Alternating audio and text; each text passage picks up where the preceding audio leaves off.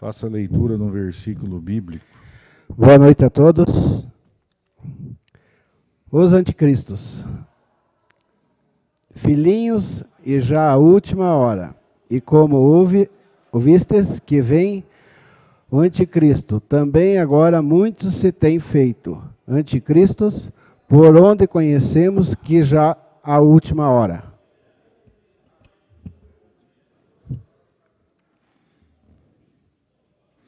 Solicito ao vereador Vanderlei, cabeleireiro do DEM, que faça a leitura da ata da sessão anterior. Boa noite, senhor presidente, senhores vereadores, boa noite a todos presentes. Vanderlei Cabeleiro do DEM, número 25, né? Muito bem. Estava convidando o Joãozinho agora há pouco para vir para o. Aos 20 dias do mês de fevereiro do ano de 2016, às 19 horas e 30 minutos, no plenário da Câmara Municipal de Araugária, realizou-se a centésima, décima segunda sessão ordinária da 16ª legislatura. A sessão foi presidida pelo vereador Wilson Roberto, com a presença dos vereadores Adriana Cossi, Alex Nogueira, Vanderlei de Oliveira, Josué Kersten, Pedro Nogueira, Pedro de Lima e Paulo Horácio. A ausência justificada dos vereadores Cabrini, Ismael Padilha e Clodoaldo. Após ser constatado o número regimental de vereadores, o presidente invocou as bênçãos e a proteção de Deus e declarou aberta a sessão. A primeira secretária fez a leitura do versículo bíblico. Em seguida, o segundo secretário vereador Vanderlei realizou a leitura da ata da sessão anterior, que foi aprovada pela unanimidade. Em seguida, a primeira secretária anunciou o expediente recebido e, na sequência, fez a leitura das providências da mesa. No espaço para oradores inscritos, fez o uso da tribuna o vereador Paulo Horácio. Não havendo nada a ser apresentado pelas comissões, passou-se a ordem do dia. Leitura, discussão e votação dos respectivos pareceres e dos projetos de lei número 144, 155, barra 2016, ambos de autoria do vereador Paulo Horácio. Comentaram as proposições os vereadores Roberto Mota, Pedro Nogueira, Adriana, Pedro de Lima, Alex Nogueira e Paulo Horácio. Os projetos foram ambos aprovados pela unanimidade dos, dos presentes. Leitura, discussão e votação das indicações, número 8, de autoria do vereador Vanderlei de Oliveira, e número 9, barra 2016, todas de autoria do, vere, do vereador, a número 9, de autoria do vereador Pedro Nogueira aprovado pela unanimidade de, dos presentes. Findada a ordem do dia, passou-se ao espaço de oradores inscritos e fizeram uso da palavra os vereadores Vanderlei de Oliveira, Roberto Mota, Adriana Costa, Alex Nogueira e Paulo Horácio. O senhor presidente solicitou o registro em ata dos trabalhos dessa sessão, de votos de pesar à família, pelo falecimento dos, da senhora Ivone Costa Alves. Não havendo mais inscrito, o senhor presidente vereador Roberto Mota agradeceu a presença de todos, as bênçãos e a proteção de Deus e declarou encerrada a sessão. Esta é a ata da sessão anterior, senhor presidente.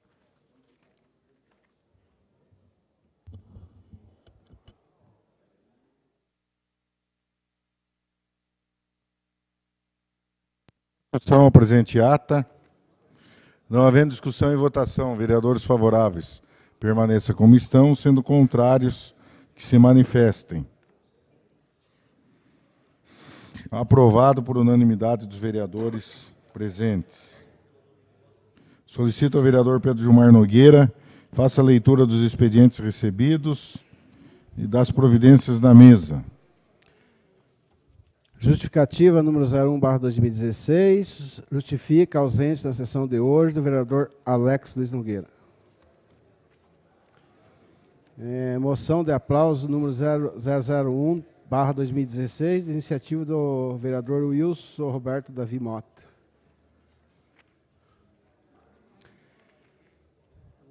Projeto de resolução número 001, barra 2016, da sala da presidência. Presidente Wilson Roberto Davi Mota, primeiro secretário vereador Adriana Costa e segundo secretário Vanderlei Francisco de Oliveira. Ofício Gabinete do Prefeito número 021/2016, projeto de lei número 1846/2016.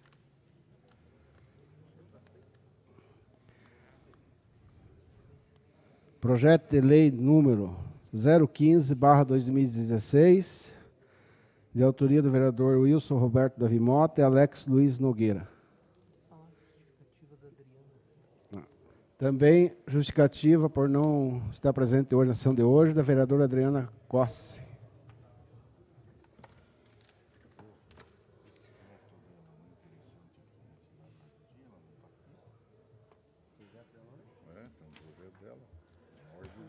Deixa eu ler as providências que você fala. Providências da mesa. Ofício número 009-2016 para o prefeito municipal, encaminhando proposições aprovadas na sessão realizada no dia 29 de fevereiro de 2016. Essa, os expedientes recebidos é a providência da mesa, senhor presidente.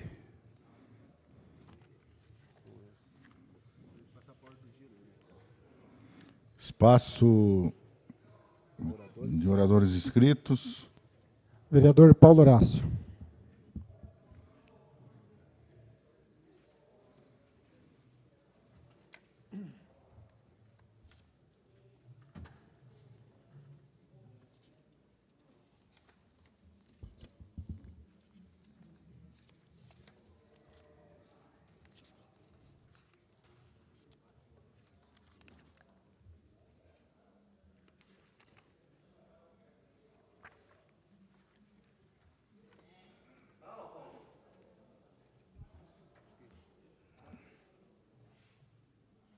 Oh, desculpe.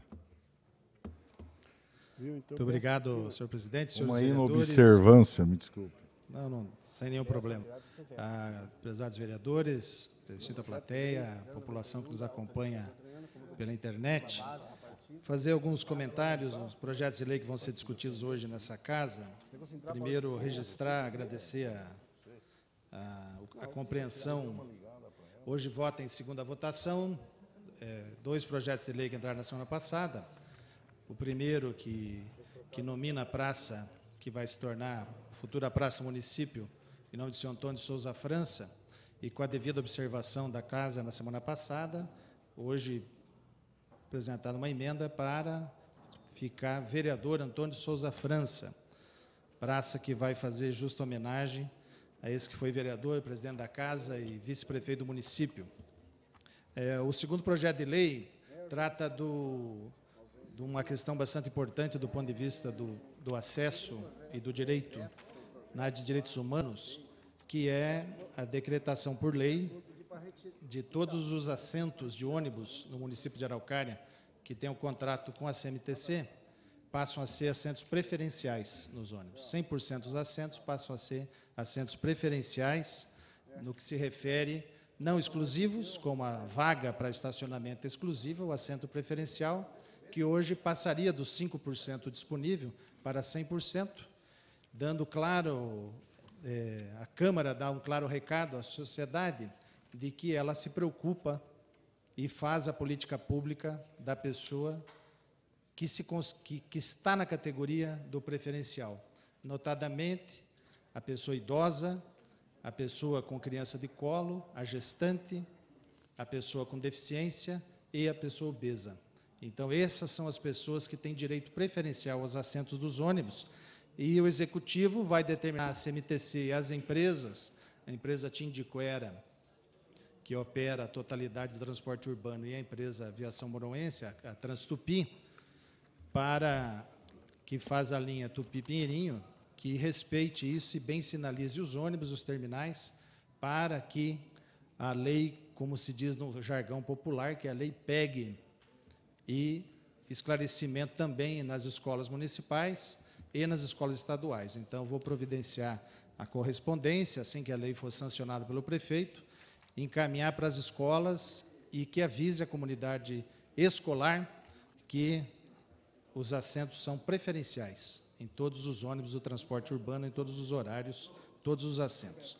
Mas o, o que me leva hoje a, a usar a tribuna é, trata-se de um projeto de lei simples, que a Câmara vai deliberar na noite de hoje, e aqui registrar, eu recebi às 17h30 um telefonema da, da Vara da Infância e Juventude e anexos aqui do, do Foro Regional de Araucária, do doutor Davi, do promotor, que iria estar presente, não pôde, provavelmente vai estar na semana que vem, segunda votação.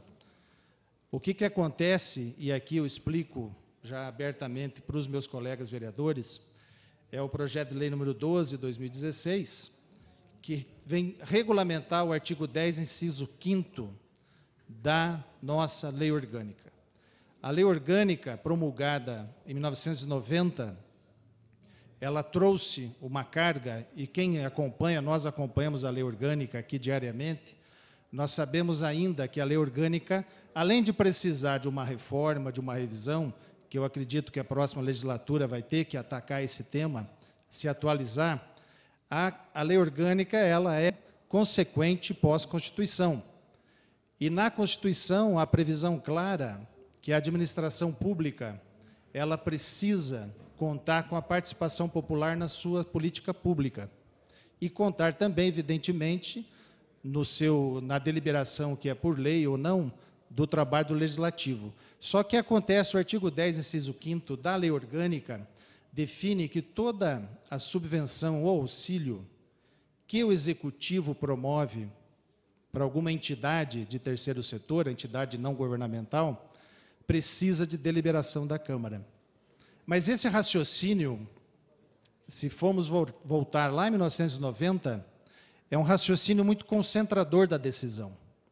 E após a Constituição, após 89, 90, e, e mais notadamente na última década, as administrações contam com conselhos regularmente constituídos, definidos por lei, e esses conselhos, vou citar como exemplo o CMDCA, o Conselho Municipal de Direitos da Criança e do Adolescente.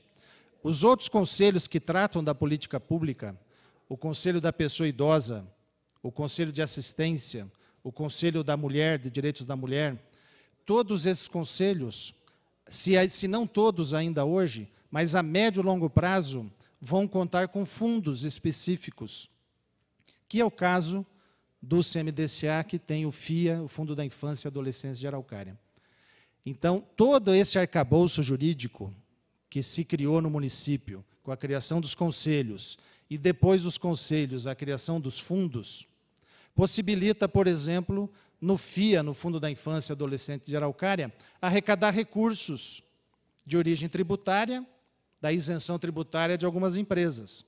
E uma coisa catastrófica que acontece em Araucária, exemplo disso, ano, ano passado, em 2014, a Petrobras doou 3 milhões e meio de reais para o Fundo da Infância. Só que, em vez de doar para o Fundo da Infância de Araucária, doou para o Fundo da Infância de Curitiba. E nós temos inúmeras empresas, hoje poderíamos dizer, acertadamente, sem errar, que pelo menos 10 milhões de reais por ano poderiam ficar no município de Araucária, nos fundos, o Fundo de Direitos da Pessoa Idosa, fundo que vai ser regulamentado agora, e, essencialmente, no Fundo de Direitos da Criança e Adolescente, que é o FIA, Fundo da Infância de Araucária. Só que o município de Araucária pela previsão na lei orgânica, acaba se confundindo e sempre encaminha para o legislativo quando o recurso é de origem do FIA, do fundo. O fundo, o, CMDCA faz um edital para projetos que envolvam criança e adolescente. Vou dar um exemplo aqui, ano passado nós votamos um projeto de lei para o veterano Jatobá. O vereador Vanderlei participou das reuniões. Até hoje, o veterano Jatobá não viu a cor do dinheiro ainda. Por quê? Porque sobrecarrega com uma burocracia desnecessária, transforma em lei a subvenção e auxílio, e esse dinheiro não é do recurso livre da prefeitura, vereador Roberto. Esse dinheiro é do FIA. Está lá previsto, o empresário já doou. E o município não consegue ter agilidade de aplicar os recursos do FIA no município. E aonde que eu, que eu aponto que é uma interpretação equivocada, mas como está previsto na lei, na lei orgânica, acaba usando essa regra. E, e, a nós, vereadores, nós ficamos meramente tramitando o processo, porque nós, se a gente fizer a emenda ou supressiva ou aditiva, não vai resolver, porque a emenda vai estar em desacordo com o edital que o FIA lançou, o que o CMDCA lançou o edital, e retarda, no mínimo, de três a cinco meses a liberação de recursos para uma entidade. E nós estamos falando de recursos pequenos. Do veterano Jatobá foi em torno de 27 mil reais, 28 mil reais. Projetos que o CMDCA, historicamente, infelizmente, Araucária não consegue aplicar seus recursos do CMDCA. Ano a ano vem para a Câmara a proposta orçamentária com superávit do recurso do fundo. Esse dinheiro não é o dinheiro da escola, não é o dinheiro da saúde, não é o dinheiro da segurança, não é o dinheiro da assistência. Mesmo porque, está aqui a Fabiola, que há tanto tempo trabalhou na área e trabalha até hoje, não é permitido que o executivo utilize o recurso do FIA para fazer a política pública que é de obrigação. Não pode a prefeitura pegar o recurso do FIA para construir uma creche para construir uma casa de passagem para uma criança em situação de vulnerabilidade ou num, numa questão de medida disciplinar. Então, nós não estamos falando, os recursos do FIA não são recursos livres da prefeitura. Então, ao meu entender, e esse é o entendimento no Brasil inteiro. Curitiba, já há muitos anos, não tramita na Câmara, o Estado não tramita na Assembleia. Aonde que Curitiba e Araucária, a partir da aprovação dessa lei, vai tramitar? Lá na discussão do orçamento. Lá na discussão do orçamento nós vamos ver, tem uma previsão de 350 mil para o FIA. Tem a, a possibilidade da Câmara indicar para o CMDCA, para o CMDCA fazer um edital. Nós podemos, sim, direcionar por indicação. Olha, o CMDCA tem que fazer um projeto com relação à gravidez precoce da adolescente, ou com trabalho de criança no contraturno escolar que não tem a ver com a política pública direta do recurso livre da prefeitura. Então, a, com o intento de regulamentar a matéria, de desburocratizar o recurso que não é o recurso da prefeitura, eu venho aqui, proponho esse projeto de lei, e, e a Câmara aprovando um projeto de lei desta envergadura, mesmo que simples, projeto de dois artigos, vai ajudar. Este ano, por exemplo, o FIA tem mais de 350 mil reais que estão parados no fundo da infância, parados, esperando a aprovação nessa lei para desburocratizar, porque daí ele faz o edital, a entidade é credenciada no CMDCA, que nós podemos fiscalizar, atendeu o edital, a prestação de contas vai ser da mesma forma. A prestação de contas tem que ser feita para a Secretaria de Assistência e a Secretaria de Assistência tem que fazer para o Tribunal de Contas, independente qual seja o montante da subvenção e do auxílio. E, e na lei, o, o que eu estou colocando, que são estritamente os recursos oriundos dos fundos, que têm conselhos e órgãos correlatos. Mas, é, para materializar melhor a questão das, do CMDCA, do FIA. Vou dar um exemplo que é diferente. Roberto, Vanderlei, os vereadores. Se o prefeito decide fazer uma subvenção social, um auxílio, para uma entidade que não está protegida por algum conselho, não está, o prefeito pode fazer um projeto de 30, uma subvenção de 50 mil reais para uma entidade que ele determina ou que ele acredita ser importante. Esta sim tem que deliberar na Câmara. Então, se, se a prefeitura decide fazer uma subvenção social para uma entidade, diretamente para uma entidade, e esta entidade não fez o projeto no CMDCA, não fez no Conselho de Assistência, não fez no Conselho da Pessoa Idosa, este recurso é recurso livre e tem que ser deliberado e discutido na Câmara, sim. Mas os recursos que não são afetos ao recurso livre da fonte mil, eles não precisam ser. Eu diria até que hoje em dia a interpretação maior, porque o Tribunal de Contas, nas resoluções, não exige, nunca exigiu que, no termo da, da, da transferência voluntária, que no caso do objeto é, a, é a, o auxílio ou a subvenção, não exige lei. A legislação do CMDCA não exige lei. A legislação do CMDCA que nós fizemos, muito bem emendado pelo vereador Roberto, a legislação diz o seguinte, que o CMDCA tem que fazer o edital, publicar em diário oficial, a entidade se credenciar, ser fiscalizada pelo CMDCA, receber o recurso, prestar contas, podendo, continua no outro ano, apresenta o novo edital, e este é o ciclo. Então, se nós hoje aprovarmos a lei nós estamos tirando esta burocracia que, digo, é absolutamente desnecessária numa visão mais moderna da administração. E o que vai acontecer no ano que vem? Isso tudo já nos prepara, porque a partir de janeiro de 2017, já entrou em vigor para estados, por exemplo, desde o dia 25 de janeiro deste ano, uma nova lei federal que trata das transferências voluntárias para as entidades de terceiro setor que auxiliam a administração municipal. Não vai existir mais nem esse termo, subvenção, auxílio. Vai se chamar termo de fomento e termo de colaboração e termos de acordo de cooperação. A partir do ano que vem, janeiro de 2017, todos os municípios do Brasil são obrigados a seguir essa nova legislação. E nesses termos, Roberto, a partir do ano que vem, não será pré-requisito nem a questão da, do título de utilidade pública. Só uma parte. Claro, presidente. É, esse desse, do primeiro artigo aqui, eu acho que está bem é, explicado que é subvenções quanto a recursos a serem utilizados alocados nos fundos municipais, né, no caso FIA, e vinculados a órgãos e conselhos municipais. Sim. Que o próprio conselho ele já faz a fiscalização. Sim. Agora o parágrafo único. Aplica-se a mesma exceção prevista no CAPT aos termos de colaboração, eh, termos de fomento e aos acordos de cooperação firmados entre o poder público, que aqui seria o executivo, né? Sim. E entidades do terceiro setor. Sim. Esta é a situação que eu estava explicando, que a partir do ano que vem não vai mais existir, ah, por exemplo, convênio com uma entidade do terceiro setor, não vai mais existir a, a subvenção Por auxílio. exemplo, a FAV, por exemplo, a FAV. A FAV, se o recurso que ela for utilizar for de algum fundo, nós estamos desburocratizando. Agora, se for recurso livre, eu recomendo, e acredito que essa tem que ser mil, por exemplo. continua passando pelo, pelo legislativo.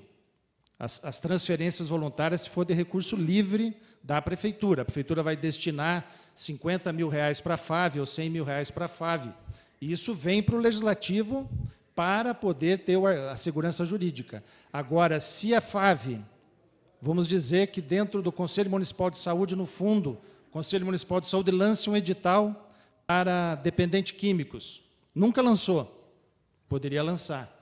A FAV poderia se credenciar no, no Conselho, ser fiscalizada pelo Conselho, pela Secretaria de Saúde, e esse não precisar virar um projeto de lei para vir para a Câmara.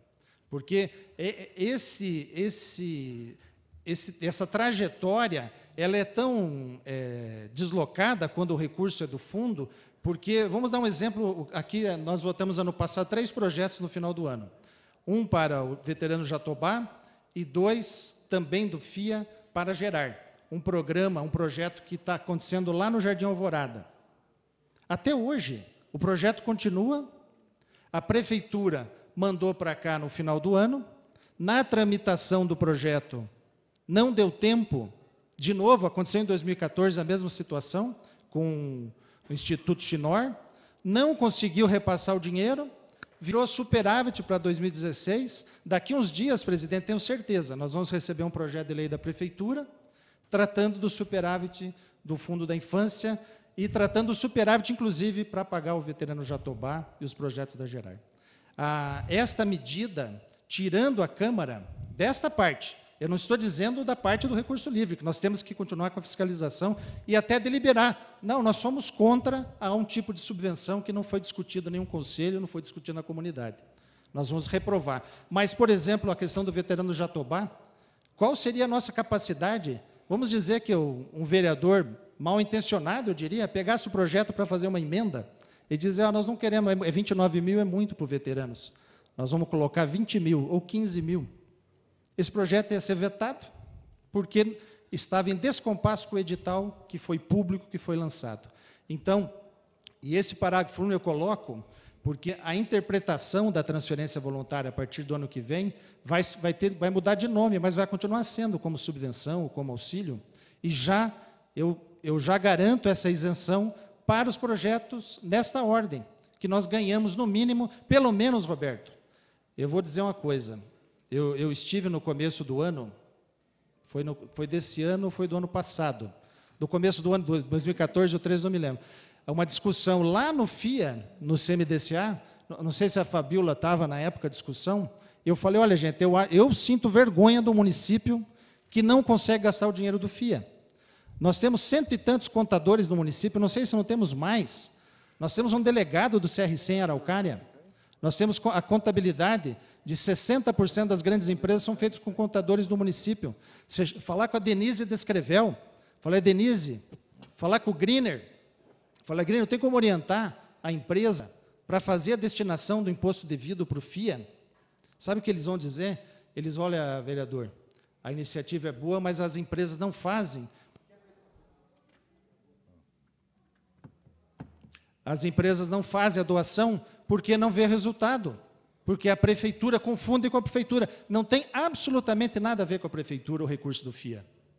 E digo, por, por simetria, que não tem a ver com a Câmara Municipal. Porque nós aprovamos a lei do FIA. Nós temos o poder de fiscalizar o Conselho da Criança e Adolescente, o próprio FIA e os projetos quando lançarem o edital. Então, é uma medida desburocratizante, mais moderna, e nós dizemos o seguinte: nós temos que enfrentar um outro problema. Vou dar um exemplo agora que eu acompanhei, porque ajudei no trâmite do FIA de Curitiba. Um projeto de 40 mil reais para uma APAI. 40 mil reais. A APAI, ela não submete o projeto para o FIA. A APAI vai direto no empresário. Em Curitiba funciona assim. Ela chegou no Banco do Brasil, numa agência do Banco do Brasil, e apresentou o projeto. O Banco do Brasil se reuniu e aquela agência decidiu destinar os 40 mil para o projeto da APAI que, que ele fez? Destina pro fundo da infância, só que vai carimbado esse dinheiro. Ele vai dizer, olha, esses 40 mil é para aquela pai. E nós não, nós não temos isso. E eu, eu, eu podia dizer, é o fim da picada. Uma, eu vou dar o um exemplo de novo, que as pessoas são amigas. O veterano Jatobá poderia, pela relação que tem, não só com o vereador, mas conosco e com as empresas do entorno, chegar direto na Labra, chegar direto na M do Brasil, chegar direto na Gonvarre, que é ali perto, e na outras tantas empresas, chegar direto com o projeto. O nosso projeto é 60 mil por ano, esse dinheiro pode ser do FIA. Por quê? Porque o empresário está no entorno do projeto. Muitas vezes a criança que está no projeto, o adolescente, é filho de um trabalhador daquela empresa. E a empresa de acordo com dos limites legais do imposto de renda devido, doar para o FIA da Araucária, mas carimbado para a entidade. E neste ponto, eu digo, nós não teríamos que deliberar, mas nós podemos fiscalizar sim, porque é dinheiro do FIA, dinheiro de recurso federal. Tem que prestar conta, veterano Jatobá vai dar um trabalho, vai ter que prestar conta, escanear nota por nota, recibo por recibo, apresentar para a Secretaria de Assistência, que vai prestar para o TCU para o Tribunal de Contas da União, a parte do imposto de renda, e para o Tribunal de Contas do Paraná. Então, é um projeto de lei simples, mas que desonera uma grande parte do trabalho burocrático. Infelizmente, a Soraya não está aqui, por exemplo, da, que cuida dos recursos da Secretaria de Assistência. Você falar com a Soraya, arrepia. Ela fala, meu Deus do céu, fazer esse projeto de lei por causa de um, de um troço de 20 mil reais que já está deliberado e sabendo que não vai chegar, vai sobrecarregar a assistência judiciária, sobrecarrega a secretaria do, do Pércio, que tem que publicar, cuidar das publicações, virar lei municipal uma subvenção de 27, 28, 50, 80 mil reais. Então, é uma situação simples, mas que nós vamos dar um grande passo para desburocratização e fortalecimento dos fundos municipais, porque vai ser regulamentado esse ano ainda o Fundo de Direitos da Pessoa deficiência, com deficiência e da pessoa idosa. Da pessoa idosa já está mais avançado. E nós temos que fomentar mesmo que as entidades que cuidam da pessoa com deficiência. Está aqui, por exemplo, a ACA, Associação Casa do Autista, que está fazendo a assembleia aqui, que o presidente deu o lugar da Câmara, e eu acho que todas as entidades, quando querem fazer suas assembleias, a Câmara já cede, faz o papel que tem que ser cede o espaço, cede o microfone, o reto projetor, nós fazemos a nossa parte. Mas quando vier a regulamentação dos recursos do fundo, nós vamos tratar dessa lei para regulamentar. Quando o conselho da pessoa com deficiência fizer o edital, nós vamos poder indicar Falando, não, nós queremos que a indicação seja de 100 mil reais, que nós vamos alocar, nós vamos fazer uma campanha aqui, ó, todos os vereadores vão bater nas portas das empresas para que elas doem para o fundo da infância, o fundo da pessoa idosa e o fundo da criança, da, da pessoa com deficiência. Então, resumidamente, é isso. É uma legislação que põe a, a Câmara Municipal num papel protagonista, moderno, e que não tira a obrigação de tramitar na Câmara os projetos que não são vinculados a, a determinado conselho. Vou dar um exemplo: seu município, vereador Roberto, foi autor de emenda lá em 2012, emenda para uma entidade terceiro setor, emenda orçamentária. Aquele projeto do bicho não é lixo, aquele projeto, quando tramitar na prefeitura, tem que passar pela Câmara. Porque é o momento onde o autor da emenda, o autor da proposição, pode externar junto com a comunidade, com o representante da entidade, que ele, ele cuidou daquela entidade, ele fez o papel dele. Mas aquele projeto precisa vir para a Câmara, porque não tem um fundo municipal para cuidar dos direitos dos animais, por exemplo. Nós não temos esse tipo de legislação no município. Então, eu, eu, eu peço a colaboração dos vereadores. É um projeto simples, mas que resolve e muito uma burocracia, e nós vamos poder, a partir de aprovados, dizer que a Câmara Municipal deu um passo.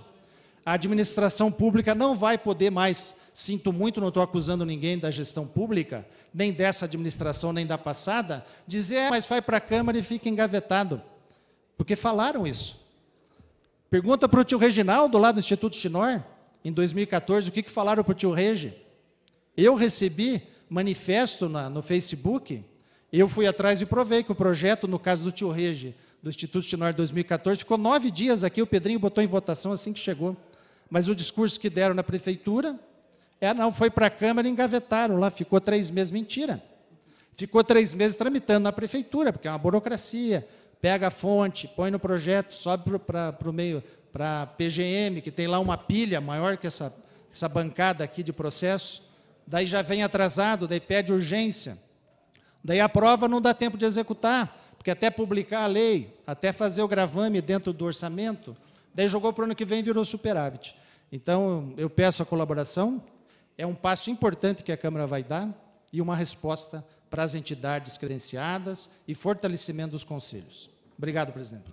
Ah, só, só informar, tem uns, só um, dois minutos, no dia 5 de abril, a Associação Casa de Autista e o IAD, Instituto de Aprendizagem e Desenvolvimento. Com o nosso apoio, nós estamos promovendo em Araucária o primeiro seminário de conscientização sobre o TEA, os transtornos do espectro autista, ou seja, do autismo. Em cada família de Araucária, a família ampliada, muitas vezes não na casa de cada um de nós, mas na família ampliada, tem alguém que se encaixa dentro do espectro do autismo. Ano passado fizemos uma lei que criou a Semana de Conscientização do, do Autismo, que é a semana, o Dia Mundial de Conscientização do Autismo é o dia 2 de abril. Então, na semana de 2 a 7, no dia 5, vamos ter um evento. O seminário é gratuito. Divulgue, Jefferson, você que tem na família, tua cunhada, que tanto luta pela criança, tem uma criança autista, e tantas outras famílias, porque em Araucária, Estatisticamente, nós devemos ter seguramente em torno de duas mil pessoas que são dentro do espectro autista e que por muitos anos foram tratados com bullying e com preconceito na comunidade, como se fosse o, aquela criança devagar, ou o pior, a palavra mais chula que pode existir para adjetivar alguém como retardado. O autista tem direitos garantidos na Constituição e lei infraconstitucional, tem uma lei nacional e tem uma lei municipal, lei que nós aprovamos aqui, que dá direitos à inclusão, tanto na escola quanto no mercado de trabalho. E, inclusive, é, só que isso, quanto mais precoce for feita o diagnóstico, melhor é para a criança e para a família. Então, ajude a divulgar nas redes sociais, dia 5 de abril, o evento com o professor Vitor Franco, um dos maiores especialistas do mundo, professor da Universidade de Évora, de Portugal, vai estar aqui em Araucária, de manhã e de tarde, para falar. A ideia nossa é um evento para mais de mil pessoas. Então, servidores públicos da área da educação, privados da área da educação, da área da saúde e pais e familiares que convivem com um autista. Obrigado.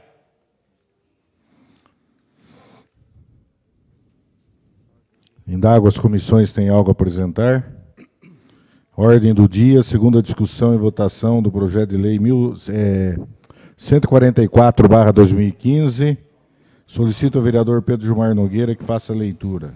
Pela ordem, senhor vereador, a pedido da vereadora Adriana Cosse, né, tem um veto total de, por legalidade do projeto de lei 091-2015, de sua autoria, é, como da mesma bancada, né?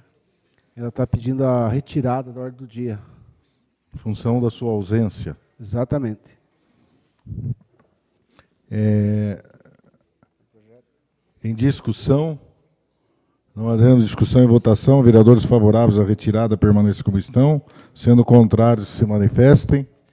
Aprovado por unanimidade dos vereadores presentes, retirando então esse projeto da ordem do dia. É, presidente, só uma dúvida.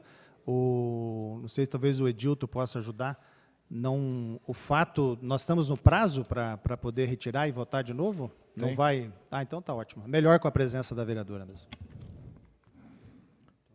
É, então solicito ao vereador Pedro Gilmar Nogueira que faça a leitura em segunda discussão do projeto de lei do vereador Paulo Henrique Areias Horácio, é, lei 1144-2015. É, projeto de lei número 144-2015, iniciativa do vereador Paulo Henrique Areias Horácio. Súmula. Dispõe sobre assentos preferenciais em veículos automotores de via terrestre afetados exclusivamente à prestação de serviço público do transporte coletivo no âmbito do município de Araucária, conforme especifica.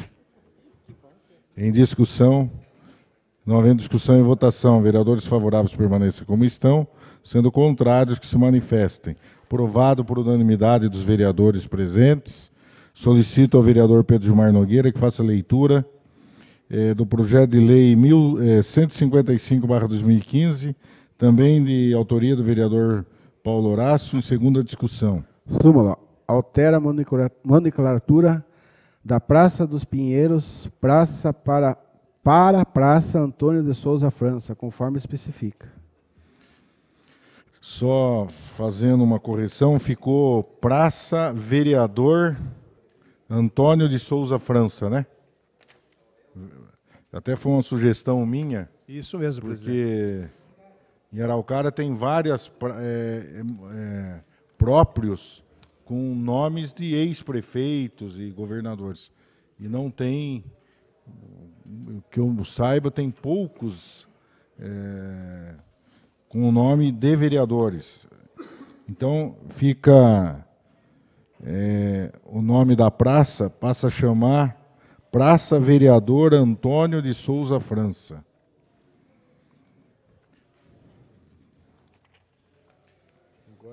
Solicito ao vereador Pedro Gilmar Nogueira, faça a leitura do parecer 14/2016 da Comissão de Justiça e Redação do projeto de lei 12/2015.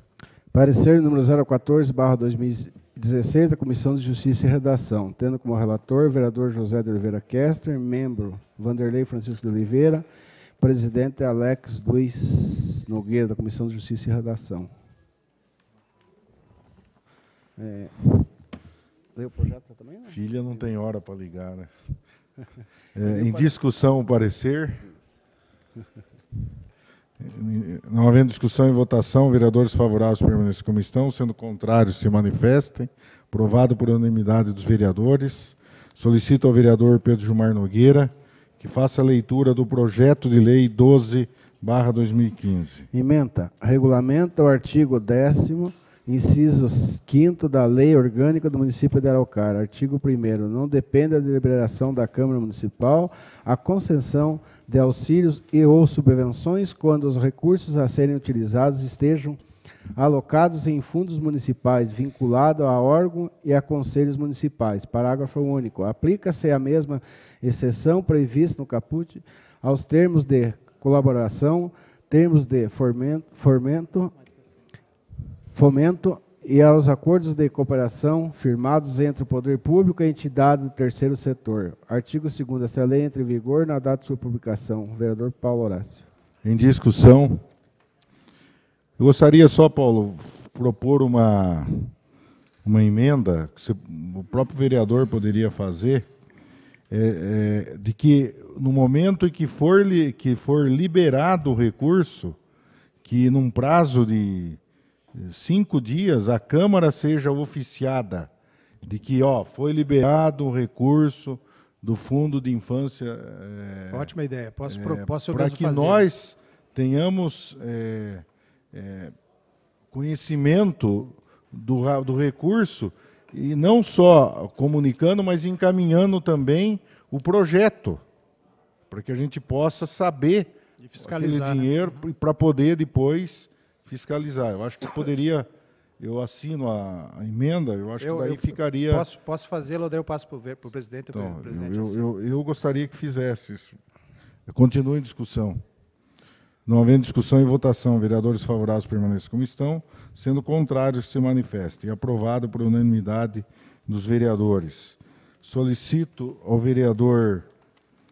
É, agora nós temos uma propositura aqui de título cidadão honorário, o Albertinho da funerária, Alberto Mário Silva.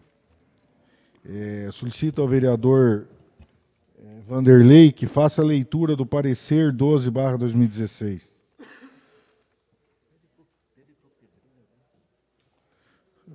Pedrinho, então passo a bola para você. Parecer número 12, barra 2016, Comissão de Justiça e Redação, tendo como relator o vereador José de Oliveira Kester, vereador Vanderlei Francisco de Oliveira e vereador Alex Luiz Nogueira. Tem que falar alguma coisa. Em discussão, não havendo discussão e votação, vereadores favoráveis permanecem como estão. Pelo sendo contrário que se manifeste. Senhor presidente, acho Oi. que o microfone do vereador, só que não ligou lá, ele vai falar. Pelo ordem, senhor presidente. Oi. Não, é, foi lido o vou... parecer só agora. Ah, só, é só o parecer. É, o projeto não então foi, foi aprovado o parecer. Agora eu passo a palavra ao vereador para se manifestar em relação ao homenageado.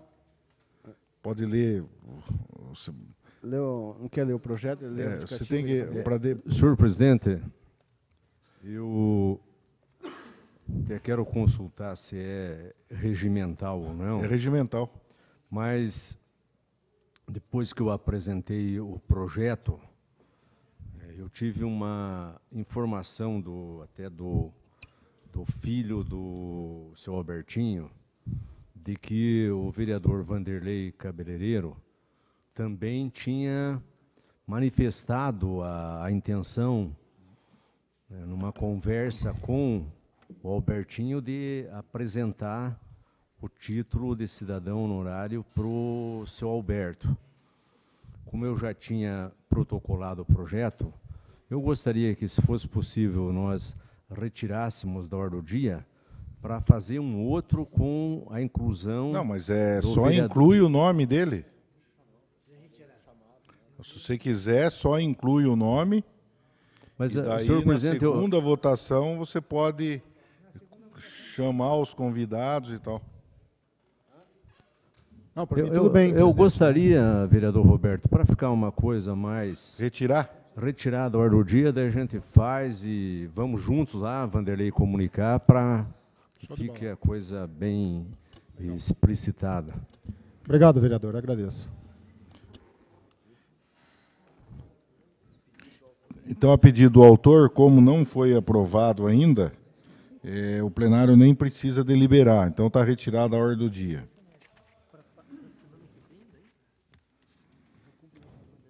Solicito ao vereador Pedro Gilmar Nogueira que faça a leitura, então, do parecer 13, barra 2016, da Comissão Pare de Justiça e Redação. Parecer número 13, barra 2016, da Comissão de Justiça e Redação, tendo como relator o vereador José de Oliveira Kester, Membros, Vanderlei Francisco de Oliveira. Presidente da Comissão de Justiça e Redação, vereador Alex. Em discussão, não havendo discussão e votação, vereadores favoráveis permanecem como estão, sendo contrários que se manifestem. Aprovado por unanimidade dos vereadores. Antes de ler a, de colocar em, lei, em votação o projeto, como é de minha autoria, eu quero só esclarecer aos vereadores, justificando o meu pedido, de que encontrei com a doutora Maria Merces Gomes Aniceto, que foi juíza da infância e da juventude aqui em Araucária.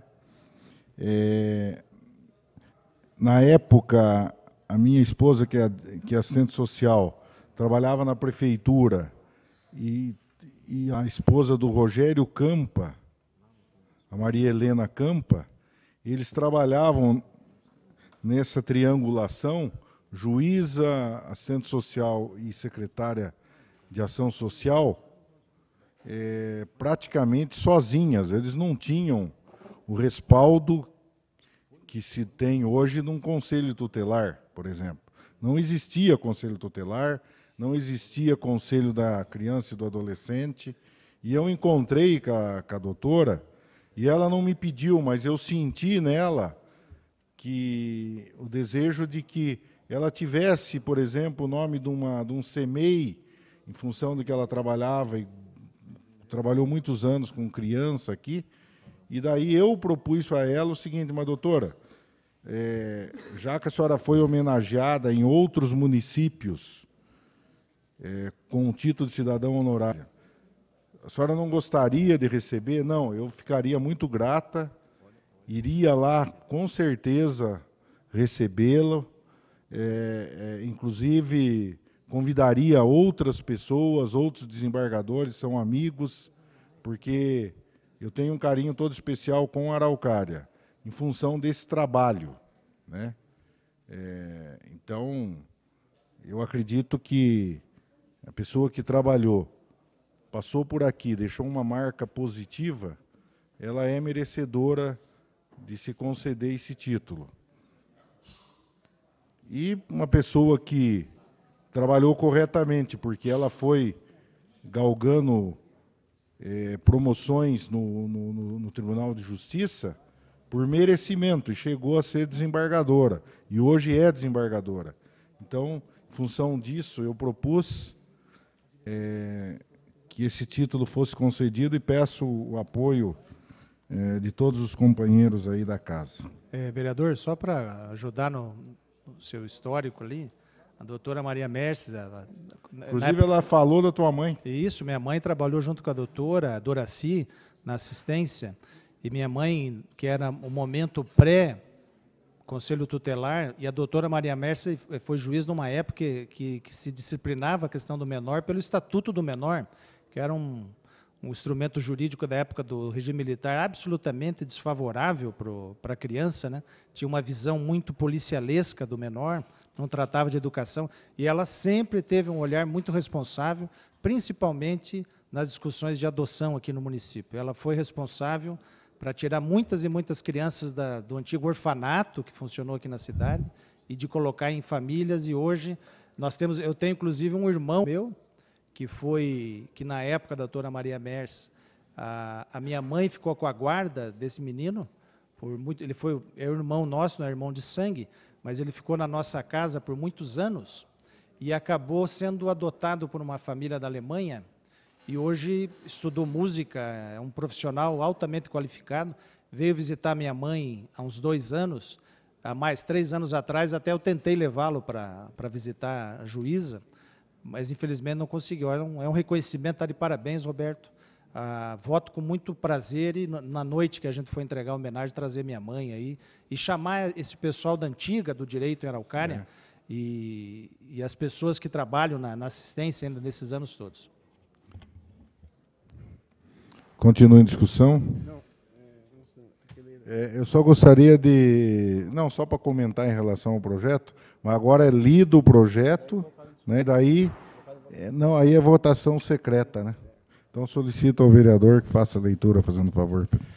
Projeto de lei número é 11 2016. Suma, concede o título de cidadão honorário ao município da, do município de Araucária, a desembargadora doutora Maria Merces Gomes Aniceto.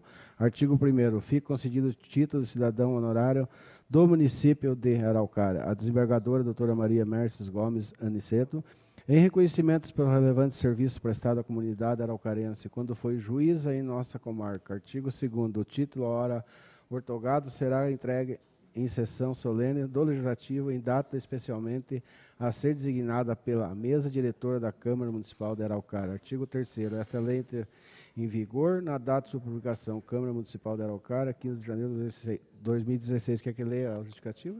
Não, não tem isso não. Isso. O vereador Wilson Roberto Davi Mota. Pode colocar em discussão, daí votação. Não, nem é votação secreta. Solicito ao vereador eh, Paulo Horácio a, proceda seu voto. Vereador Ismael Padilha, vereador Francisco Carlos Cabrini, do PP. PP. Ah, então tá errado, pô. Então vamos trocar a seda. Aqui, ó.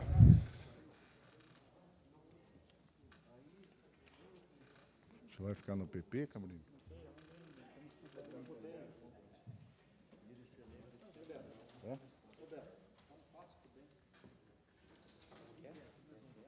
Você aceita ele não tem? Não.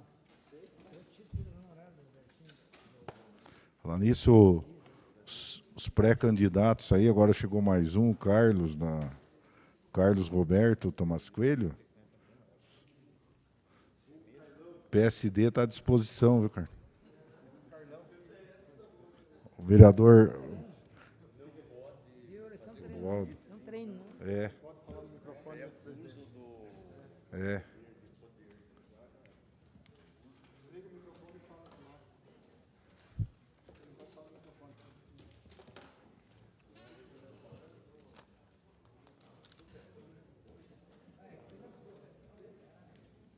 você vai ver a mulher quando vier aí.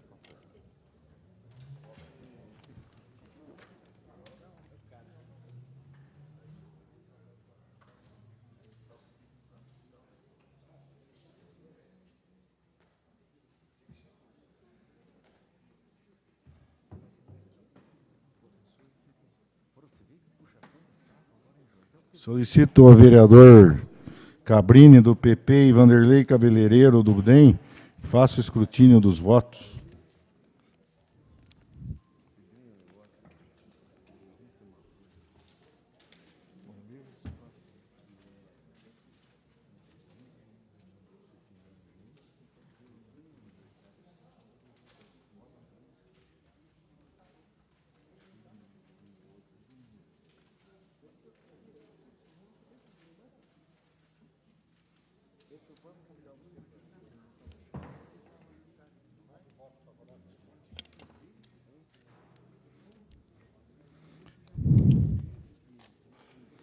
É, 11 votos favoráveis. Nove votos. Não, nove, tá. Só Pensei que o Pedrinho tivesse votado pela Adriana. Não, nem comprou ainda, né? Pensei que o Pedrinho é. tivesse votado pela Adriana e o Vanderlei pelo é. Alex. Não se largam os dois e dois, né? Mas agradeço aos vereadores. Eu sempre digo que quando o vereador propõe algum título que envolve pessoas, é muito complicado você votar contrário, né? Porque eu não gostaria que votasse um dia contra a minha pessoa. Né? Então é difícil. Mas no nosso caso é mais fácil levar Aprovado um o né? projeto por nove votos a zero.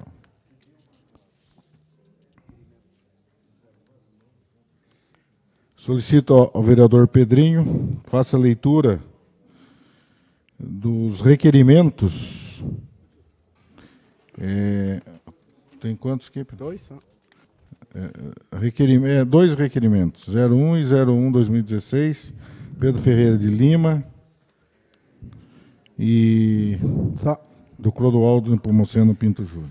Requerimento número 001, barra 2016, requer a mesa Lê todo, né? Requer a mesa que seja solicitado, excelentíssimo senhor prefeito de José Ferreira, o fornecimento dos documentos referentes à obra de pavimentação da rua Luiz Becuí, na Vila Nova. Valor da obra: R$ 299.699,49 e 49 centavos. trecho entre a rua Maria Prosdócio Franceschi e a rua Alexandre Vysotsky. Extensão 527 metros e 77 centímetros. Isso? Isso. Convênio, Governo do Estado do Paraná, Secretaria de Desenvolvimento Urbano, Empresa Executora Giralda, Construtora de Obras Limitada. Documentos solicitados.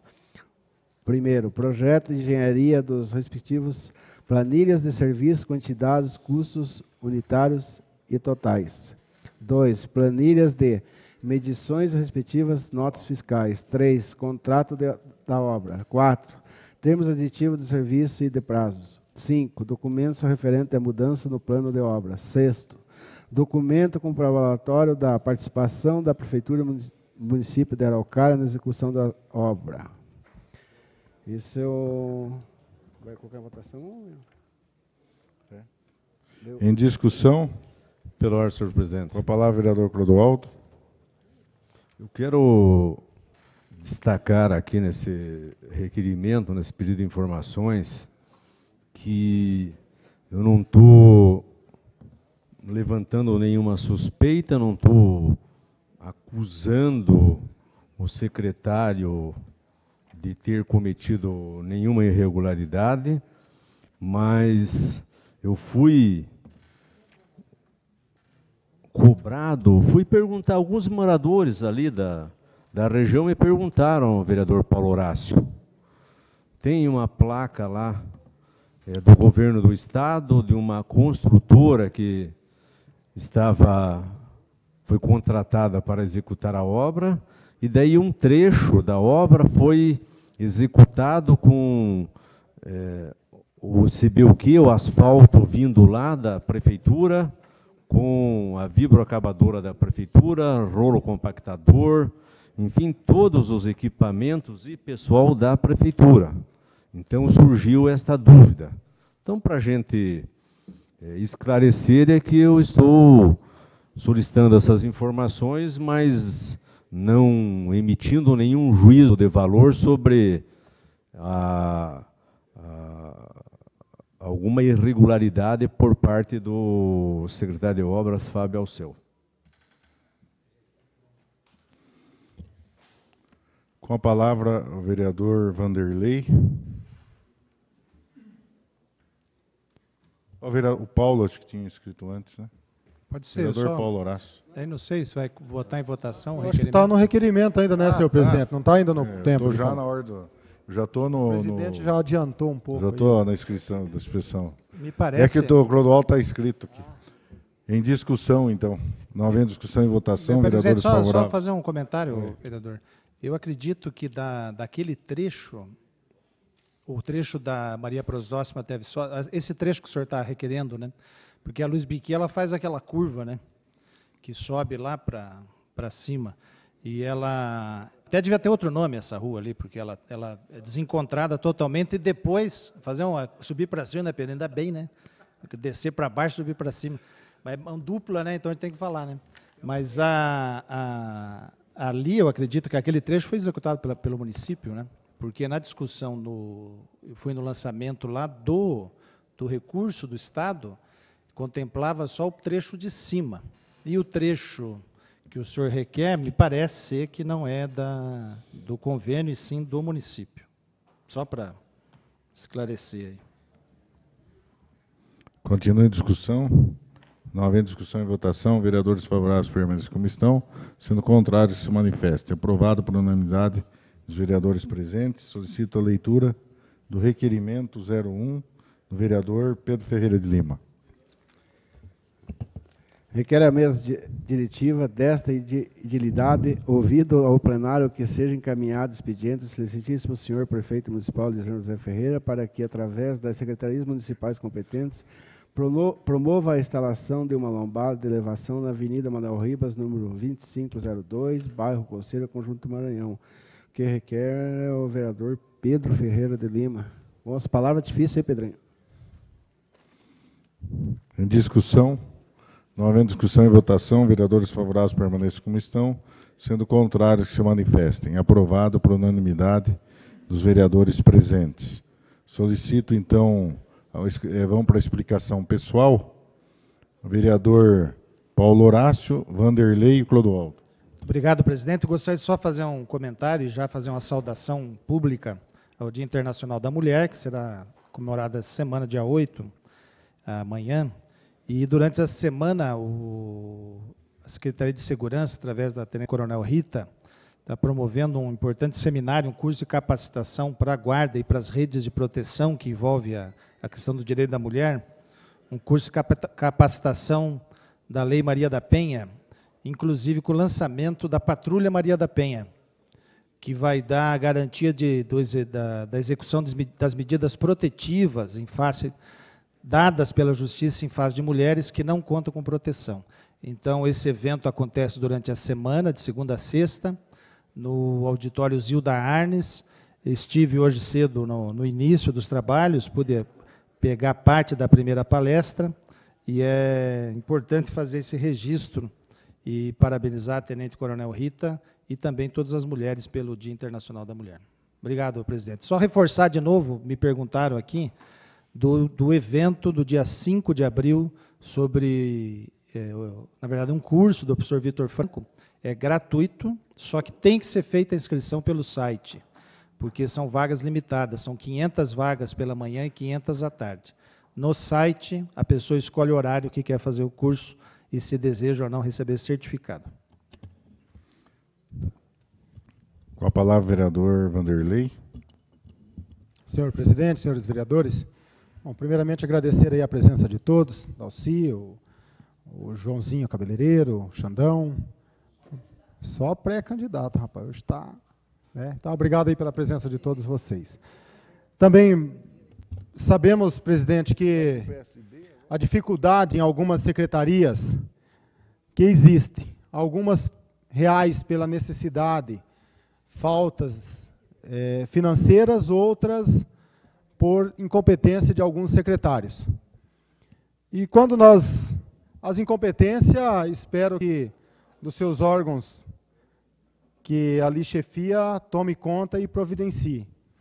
Agora, nós temos que destacar também o belíssimo trabalho mesmo com as dificuldades, do subprefeito André, que tem feito, com toda dificuldade, um belíssimo trabalho na zona rural. Então, parabéns, André, pelo trabalho que vem destacando, pela... Tive ali fazendo algumas andanças ali pelo interior e vi que a, a tua região ali está fazendo um belíssimo trabalho. Então, está de parabéns diante da dificuldade. Também gostaria de comentar, na semana passada, teve um acidente na escola do Caíque com uma criança. Essa criança veio a. estava brincando, veio a cortar o joelho em uma, um ferro que se destacou do meio das lajotas, lá na área de, no local de brinquedo, né, da, da, das criançadas brincar no seu horário ali. E o que chamou muita atenção que esta criança veio a sofrer 20 pontos na perna, doutor Josué. Ligaram para a mãe que trabalha na Fazenda Rio Grande, ligaram para o pai que trabalha bem mais perto. Quando o pai chegou na escola, lá do Caíque, a criança estava com a perna toda, imagina, né, toda lavada em sangue, contanto que foi 20 pontos na perna. Ninguém foi capaz de chamar uma ambulância, ninguém foi capaz de ter a reação de pegar essa criança de apenas 5 anos e levar num posto de saúde que está ali uma quadra do local, Ninguém fez isso, professores não fizeram, a diretora não estava, Paulo, na escola, a vice-diretora estava e não reagiu a isso. Quem pegou a criança, quem pegou a criança foi o próprio pai. Catou a criança, saiu correndo com a criança até chegar. Então, não houve uma ligação de socorro, apenas ligaram para o pai e para a mãe, dizendo que a criança tinha machucado a perna. Agora, que machucado é esse para levar 20 pontos. Claudio Crei está aqui, que é jornalista, ligou para a mãe, viu, provavelmente viu as fotos, a mãe colocou ali, saiu no jornal, né? Colocou ali nas redes sociais, um absurdo.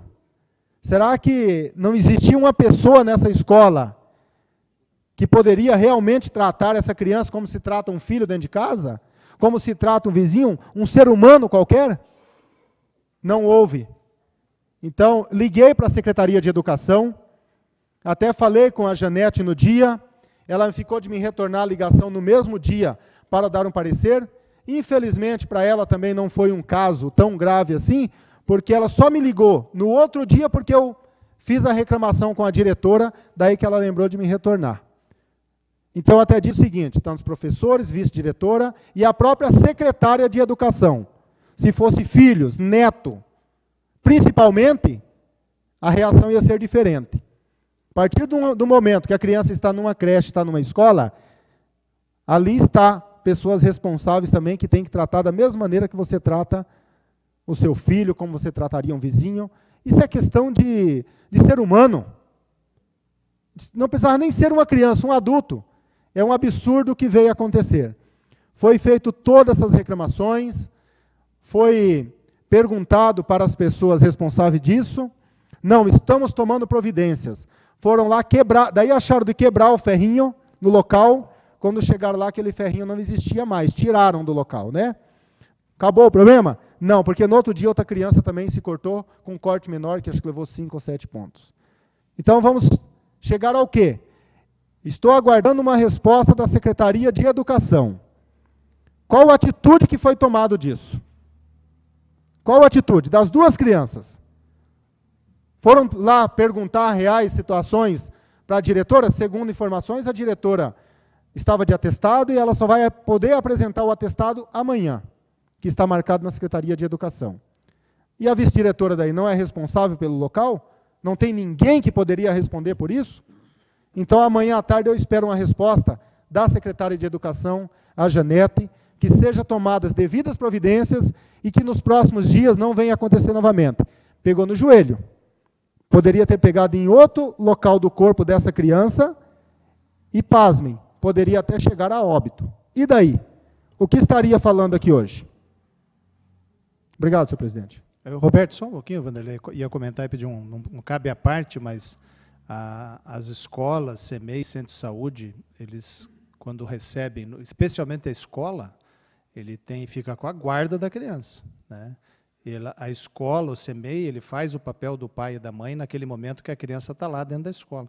Evidentemente, a escola, se não tem, é um, um lapso, deva ter um plano de emergência para esse tipo de situação e que a comunidade escolar tem que ficar sabendo, antes, né? Então, no início das aulas, saber, olha, se, se, se nessa escola acontecer alguma coisa, é assim que procede. Então, acho que a observação é justa, a reclamação é justa. Vamos esperar aí a prestação de contas disso, né? Porque é, realmente é absurdo, né?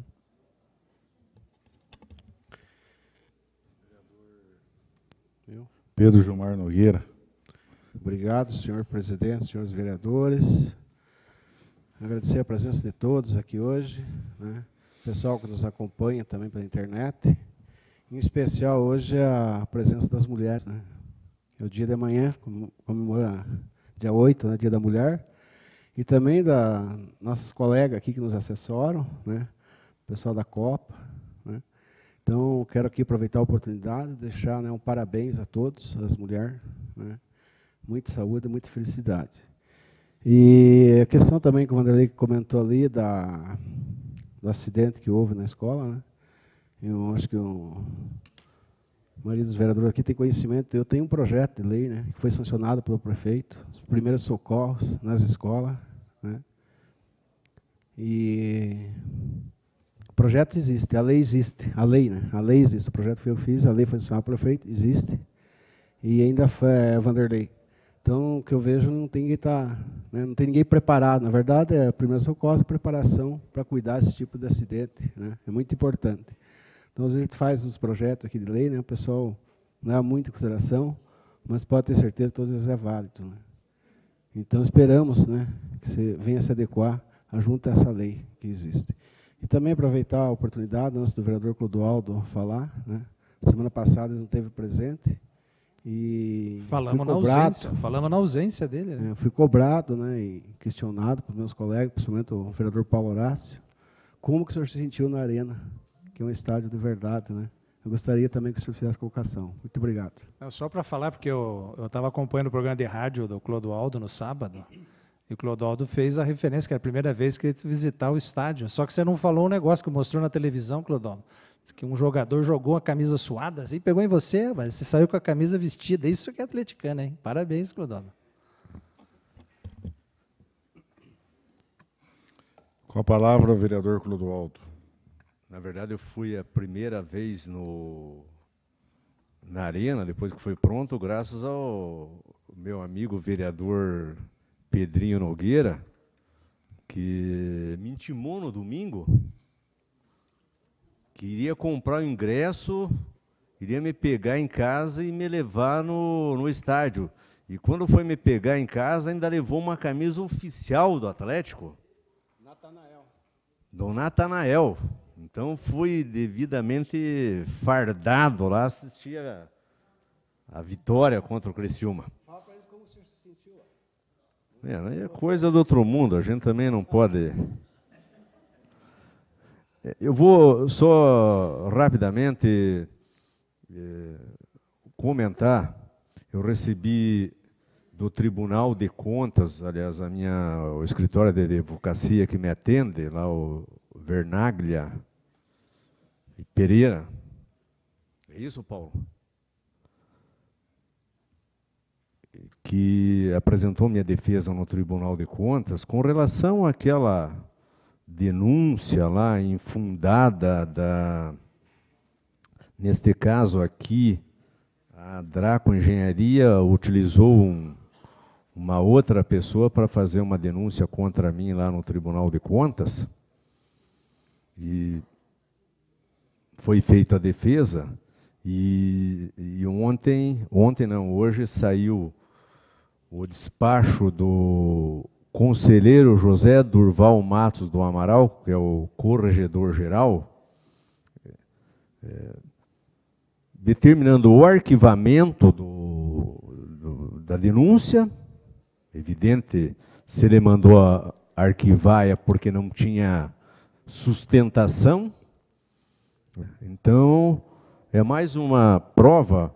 Ele entrou aqui na Câmara, entrou no Ministério Público, na Prefeitura, né, no Ministério Público também já foi sanada todas as, as dúvidas, na Prefeitura da mesma forma, aqui na Câmara também eh, os vereadores avaliaram que não tinha eh, fundamentação para qualquer tipo de, de investigação, apuração, e eu recebi agora a notícia aqui, por escrito, de que foi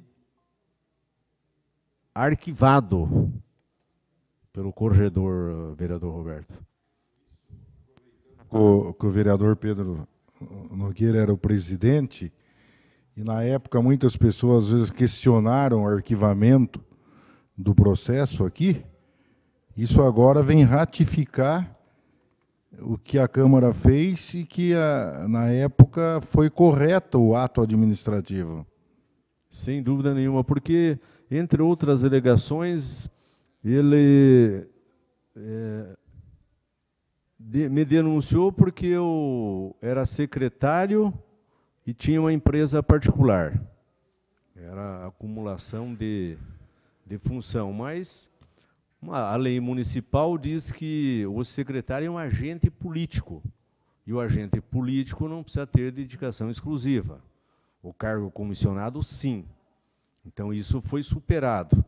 Daí, ele me acusou também de ter assinado anotações de responsabilidade técnica, isso o CREA exige que qualquer fiscalização de uma obra, é, o engenheiro responsável tem que assinar, você é agrônomo, Beto, tem que assinar uma RT. Então, se nós íamos fiscalizar uma obra, eu tinha que assinar a RT como fiscal da obra. Teve projetos que nós elaboramos na secretaria. Então, eu tinha que assinar como né, autor do projeto ou coautor. E ele fez uma misturada, vereador Roberto, dizendo que eu prestava serviço para a prefeitura, sendo que eu assinava como responsável Você não técnico, ganhava como pela fiscal, assinatura? eu não recebia um tostão da prefeitura. Então, ficou bem claro agora aqui, né, de que não tinha irregularidade nenhuma.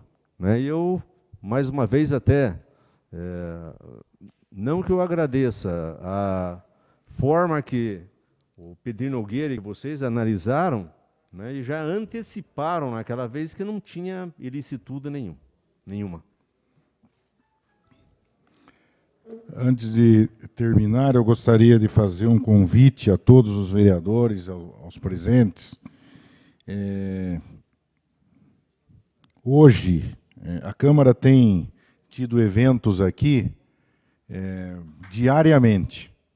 Hoje, por exemplo, nós tivemos aqui no plenarinho o evento da Associação Casa do Autista. Amanhã, na terça-feira, a gente tem é, a reunião do CONSEG, que vai discutir a segurança é, pública com a comunidade araucária.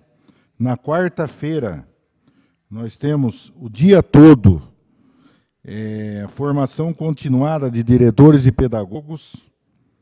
E às 19 horas, na quarta-feira também, nós temos a posse da OAB, que todos estão convidados. E daí na quinta e na sexta eu não tenho aqui ainda o, a agenda da, do plenário e do plenarinho. Gostaria também de dizer ao vereador Vanderlei que eu fiquei muito chocado em ver a fotografia da menina, em se tratando, Paulo, de menina e um corte no joelho, é um dano estético passível até de ser é, cobrado judicialmente por isso.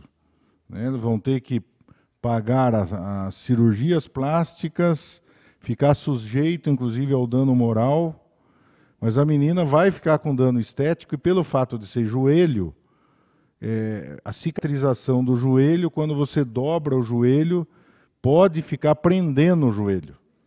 Então, vai ter que ser tem que se acompanhar, eu até, Vanderlei, você que conhece a mãe, é, e o doutor Josué, que é aqui como médico, não sei se já não era o caso de, desde já, ter um acompanhamento de um cirurgião plástico, né?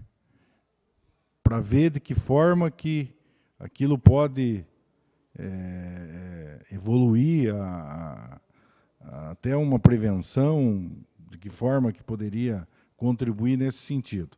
Mas outra questão também, que é incrível como a população ela não tem conhecimento nenhum das instituições. Eu não estou aqui defendendo A ou B ou C. Aí, quando foi postado essa matéria, as pessoas vêm e dizem, não, porque esses políticos não valem nada, porque o vereador isso, o prefeito aquilo. Mas, ora, se tratou de uma omissão de socorro de uma funcionária pública do município. O que tem a ver o vereador com isso? O que tem a ver o político com isso? Dentro de uma escola em que são funcionários efetivos, que a diretora deveria tomar atitude, ou se não tivesse a diretora, a diretora auxiliar é responsável direto. E qualquer professor que estivesse ali vendo aquela situação é também responsável é, por chamar o socorro e prestar o socorro, o que não foi feito. Né? Então, eu acho gozado assim, é como as pessoas não têm conhecimento. É, é, foi um, se houve uma omissão, foi uma omissão, tem nada a ver com político. Foi uma omissão de uma funcionária pública municipal, que foi eleita pela comunidade e está lá como diretora executiva. Aliás, no governo do Estado, se questiona até a eleição de diretores, porque o Supremo já determinou que o prefeito e especialmente a secretária municipal de educação, ela é responsável solidária pelos atos de omissão ou não da diretora da escola. Se houver uma malversação de recurso lá, a diretora, a secretária de educação responde solidariamente. Então, até a eleição para diretores, se discute até que ponto você, como gestor público, delega para uma diretora ou uma diretora auxiliar e que numa omissão dela você responde solidariamente, que é esse caso aqui. A, a secretária de Educação, ela está, sim, é, sujeita a responder solidariamente. Então, Vanderlei, eu acho que tem que se fazer um documento por escrito para a Secretaria da Educação. A Secretaria da Educação vai ter que abrir um procedimento administrativo para apurar o fato e punir os responsáveis. E a família entrar com uma ação é, contra o poder público e que o poder público, na verdade, depois, se quiser, faz uma ação de regresso contra os responsáveis diretos que vão ter que ser apurados. Eu acho que isso aí é um mínimo que se pode colocar. Não se justifica o fato de dizer que ah, eu tinha pedido para a prefeitura vir tirar esse ferro. Só que depois que aconteceu a situação, foram lá, deram 5, 6 balanço no ferro, quebraram o ferro e jogaram fora. Como é que daí resolveram? É o mesmo caso que eu falei aqui, Vanderlei. Na época que eu fui criticado, quando o Ronaldo Martins era o secretário, que foi numa escola, estava a caixa d'água descoberta, tinha caído um pássaro lá dentro, as crianças estavam tomando água amarela, e o Ronaldo lá questionou do dia por que estava sendo tomada aquela água amarela. Foi dito para ele que porque tinha caído um bicho lá na caixa d'água. E daí o Ronaldo subiu lá, enfiou a mão lá dentro, pegou o bicho, jogou fora e pediu para ir lá, pelo menos que se dignasse o diretor ou a, ou a diretora auxiliar, a ir lá e desligar, fechar o registro para não expor as crianças a essa situação. Então, olha só o que aconteceu. Daí o sindicato vem no jornal me questionando ainda. Por que, que eu estou fazendo isso? Porque eu não vou visitar as escolas? Ué, mas o que tem uma conexão? O que, que tem a visita minha na escola com uma omissão e até um crime contra a saúde pública de uma diretora? Qual a conexão que tem? Vamos supor que eu assumo que eu não fui. E daí? Porque eu não fui, vai permitir que a diretora faça isso?